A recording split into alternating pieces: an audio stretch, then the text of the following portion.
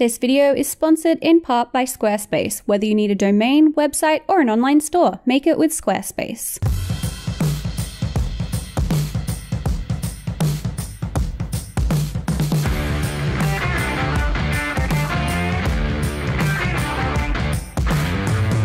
Going on everyone? So today's video is going to be a little bit of an experiment. However, if you're watching this, it means the experiment probably worked. I just found this really cool sample, discarded sample fabric from this place called Reverse Garbage here in Sydney. When I saw it, it was all laid out so that all the different color swatches were uh, aligned in like a rainbow pattern. And when I saw that, I immediately went, I need to make a bag out of that, a rainbow bag. I also bought a bunch of secondhand bag webbing and some zippers to use as well. So this project will probably be entirely upcycled from discarded uh, industry fabric waste. And the plan at the moment is to make a rainbow bag with a little bit of a square bottom and with a zipper at the top. So we'll see how that turns out. Let's go get started. First, let's get this cardboard thingy off the fabric. All right, so here's all the different colored samples and I removed this big white piece of the same fabric as well, which I'll put away for the bag lining. But for now, these little colored samples are destined to become my bag's main outer fabric. There's 10 differently colored pieces of evenly sized fabric here, so I divided them up into two groups of five. I'm going to stitch these five pieces together to become the bag's front, and these five together to become the bag's back. To attach each strip together, I started with the color that'll be on the edge. That's this blue color. And then I grabbed the next color along and I flipped it over so that it's facing right sides down. I laid this green strip directly on top of the blue strip so that the two fabrics are right sides facing each other, and then I sewed a straight line down this edge here. And unless I mention otherwise, all the seam allowances that I'm going to be using in this project are 3 eighths of an inch, or if you're using metric, that's about 1 centimeter. Once that straight line was sewed, I pressed the seam open with my iron. And with the two pieces unfolded and both facing right sides up, the two joined strips look like this. So then I continued joining strips of fabric in the same way as the first one, by flipping the next strip in the rainbow over, placing it on top of the previous strip right sides together, and then sewing down this edge here.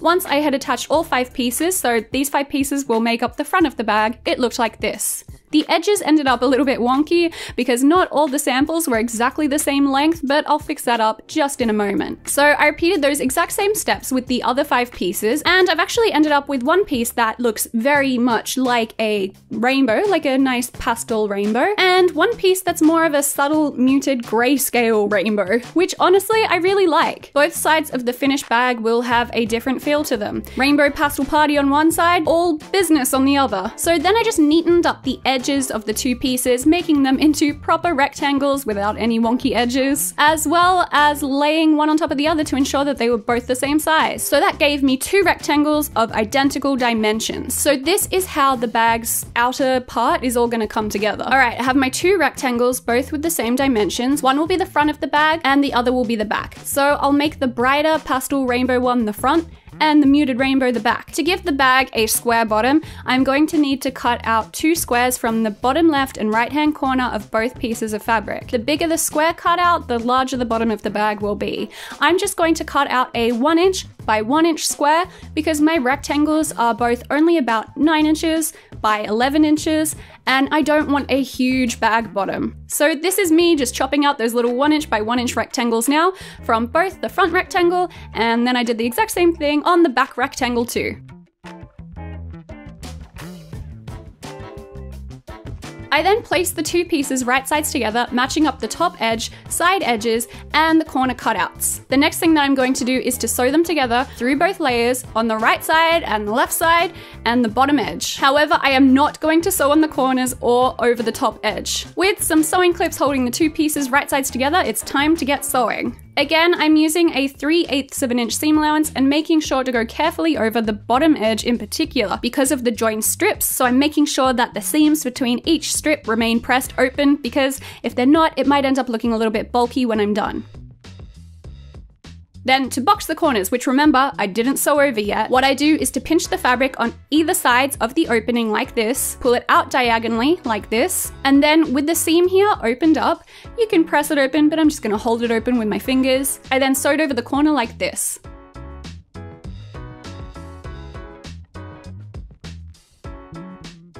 And then I repeated the exact same thing for the other corner. With both of the corners now boxed, I can now turn the bag the right way around, pushing out the corners, and it looks like this. This is gonna be a pretty cute bag, I think. Now, let's put this aside for the moment and get started on the bag's lining. So remember that big piece of white fabric from before that was also attached to the sample sheet? Well, I'm going to be using that piece for the bag's lining. So what I did was to cut out two rectangles from this white fabric to the same shape as the two rectangles that I used for the main outer bag fabric. And I also cut out one inch by one inch rectangles from the bottom corners of both pieces as well. Now I'm going to attempt to add a zipper to the lining before I sew the lining up or put the lining in the bag. So first I'm going to choose a zipper that suits the bag the best. I ended up going with this peachy pink zipper. And the zipper is approximately the same length as the top of the bag, but if you're following this tutorial, you can also use one that's longer in length not a problem. Now, this is where my little experiment starts, and where, if you're following this tutorial, you should stop. Now, I'll tell you when to start again. So, of course, first, without any instructions to follow, I totally messed this up. But I messed up confidently. I managed to sew the zipper on really well, but just upside down. And I don't want an upside down zipper. That is not helpful. So then I had to unpick everything. And unfortunately, in my unpicking, I accidentally damaged one of the lining pieces. so I didn't have enough of the white fabric left to cut out a whole new lining piece. So I just replaced the top of this lining that was damaged with some new strips of fabric. So that's why this lining piece now looks like this. But that's not really a problem. I just want it to be structurally sound and it doesn't really matter too much what it looks like because it'll end up on the inside of the bag anyway. So I still have two lining pieces with squares cut out. We're back at that point. And remember that one of my lining pieces, due to my failed experiment, now looks a bit janky, but structurally is still identical to the other piece. So if you're following this tutorial to make your own bag, resume from here. Okay, next, on both the lining pieces, I'm going to draw a temporary line onto the right side of the fabric. I'm using a chalk fabric pencil to do this, and I'm going to draw the line one inch below the top edge, parallel to the top edge. So it's a little bit hard to see the faint chalk line on the camera, but that line is right here. Next, I'm going to lay my zipper facing down with the left edge of the zipper aligned with that temporary chalk line. Then I'm going to sew the zipper on to the first lining piece by sewing a straight line down here. Now, important to note that because I wanted most of the zipper to still be visible from the top of the bag, I sewed the zip right at the edge of the zipper tape, like this. However, if you did want a more invisible zipper, you could sew it on a lot closer to the zipper teeth. After that was sewn on, it looked like this. Then I grabbed my other lining piece, which is this one here, and it already had a line drawn across it, one inch down in the same spot as the other one. I placed this piece right sides up, upside down in comparison to the other piece, with both the top edges parallel and next to each other like this. Then, and I'm gonna do this real slowly so you can see what's going on, I folded the fabric that's above the sewn on zipper down below the zip like this. This makes sure that the other edge of the zipper, this edge, won't get fabric caught up underneath it. And then I flipped it back around, making sure to keep that bit of fabric folded out of the way. You can press it or pin it if you want, or just hold it out of the way with your fingers like I'm doing here. And then I moved this lining zipper piece up to the other lining piece, matching up the unsewn half of the zipper with that line that was drawn across the other lining piece and I'm going to sew it on in the exact same way as the other half of the zipper. I clipped the zipper in place at the ends just to make sure I hadn't messed it up again before sewing. I recommend doing this just to check, but nope, that's right, it should look like this. So now onto sewing the zip on completely. Again, I'm sewing the zipper on by stitching through way over at the edge of the zipper tape.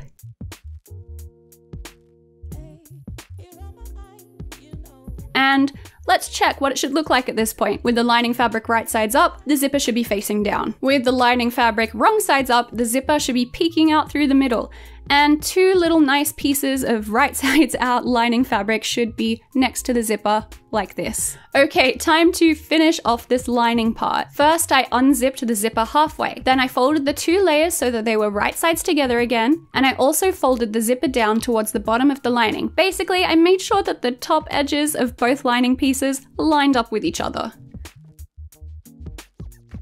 Then I clipped the two pieces together, matching up their sides, and next I'm going to do the same thing that I did for the main part of the bag, which is to sew down this side, this side, and the bottom of the bag, but do not sew the corners yet. The side seams should now hold the zip in place, as well as creating new zipper stops if the zipper that you used was longer than the top of the bag. Now, I'm just going to box one corner. It is really important that one corner is left open because that's where the whole bag is going to be turned through later. So I boxed one corner in exactly the same way that I did before and the lining is now as finished as it's gonna be for now. So I put that aside and I began working on the bag strap. The bag webbing here was also found at the same place that I found the rainbow fabric, reverse garbage. I measured out the correct length for it. I want it to be a crossbody messenger style bag. So I basically just threw the uh, strap webbing over my shoulder like this, figured out where I wanted the bag to sit, and then I cut it to this length. Now, I don't think that the dark green color of the bag webbing will go super well with the pastel rainbow color of the bag. So first, I'm gonna change the straps color by covering it with another fabric. This fabric here, I'm using a black woven cotton poly blend that I also thrifted once upon a time. I cut off a strip that was the same length as the bag webbing and approximately 2.5 times its width. I then placed the webbing on top of the fabric strip like this, and I folded one edge down over the webbing so that it was almost covering the webbing. And and I clipped this in place and then I sewed it on like this. Then with the other raw edge, first I folded it up once like this, and then I folded it again down onto the strap. It should hit somewhere in the middle of the strap. And I sewed it in place like this.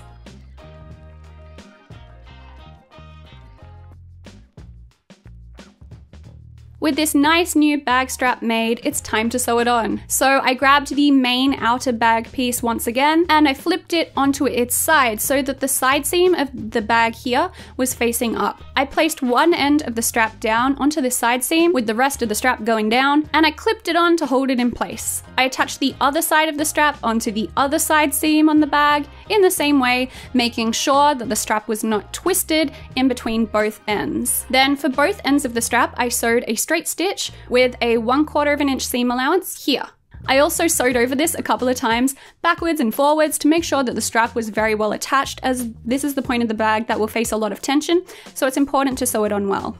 With the strap sewn on, it looked like this. This is actually starting to look like a bag, huh? Next, I bundled up the strap to keep it out of the way of my needle, like this, and I secured it with a... we'll use a hair tie, because that's all I can find right now. It's finally time to sew the lining to the bag. First, I made sure that the main bag fabric was turned right sides out and that the lining piece was still inside out. Then, with the zipper on the lining piece totally unzipped, I pulled the lining over the outside of the main bag piece. I made sure to match up the side seams on both the main bag and the lining bag, and the top raw edges of both should also be aligned. Then I clipped the two layers together all the way around. And before we sew them together, let's just do another check. It should look like this. And now I'm going to sew the two together by going all the way around the top of the bag using a straight stitch. Important note, you want to absolutely make sure that you're only sewing through two layers at a time, not all four layers. Because you'll be sewing around the top in a circle, you'll want to hold the bottom fabric down out of the way while stitching. Okay, now here is the exciting and the most satisfying part of this DIY. Or, because it's a total experiment, the oh god, I hope this work part. So I'm going to be turning it all the right way out through this teeny tiny hole in the lining here. Wish me luck. So this took a while and I had to be very gentle because I didn't want to bust open any of the seams. But I eventually got the bag all the way turned from that tiny corner hole. Phew. With the lining still out of the bag, I'm going to stitch that corner hole closed. I did that by folding the raw edges of the corner down inside the lining like this and then sewing over the top very close to the edge with a top stitch. Now I can finally push the lining down inside the bag and it's looking very bag-like at this point. Now, there's one small thing that I wanted to fix. At the moment, the top of the lining is peeking out of the bag, here. Now, you might like this look and want to leave it here, that's totally fine, but I want it hidden. So I pushed the lining down a little bit more, rolling this seam here so that the lining is slightly out of view when looked at from the outside. I then pressed this edge with an iron to keep it in place, and then top stitched all the way around the top of the bag. I'm using this edge stitch sewing foot to help guide me. Okay, so this is technically a blind hem foot, but I'm using it as an edge stitching foot here. And I'm using that to stitch as close to the edge as possible while keeping a straight line along the top of the bag. And that is it. It's time to see how this experiment went down.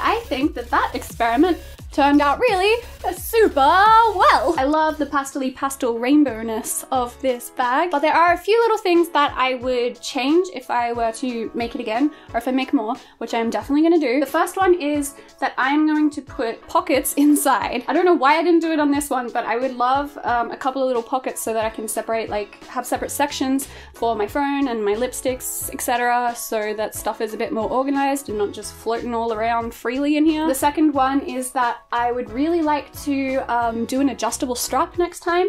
I didn't have the materials for that this time. What are they, like sliders? whatever they're called, but I would really like to have an adjustable strap because while it fits me like perfectly if I wear it crossbody, if I wear it just on one shoulder, it's a bit too long, so it'd be good if I could just like adjust it make it a little bit shorter. And the third one is this fabric is weird. I don't think this fabric's gonna be super long lasting. It kind of snags on things and then the threads pull out and it starts looking a bit janky and that's already happened a couple of times on this bag. I'd never used this fabric before so I didn't really know what it would be good for. But that said, I'm definitely still gonna get a lot of use out of this.